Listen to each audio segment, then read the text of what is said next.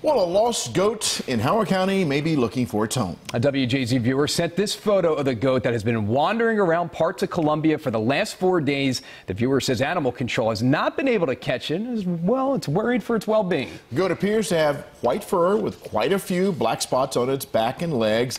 And it's been seen roaming in neighborhoods in the Columbia area and may have gotten away from its owner. So, if this is your goat, come get it. Greatest of all time. The goat, we had the pig earlier. It's like Jumanji out here today. What the heck's going on? How about that?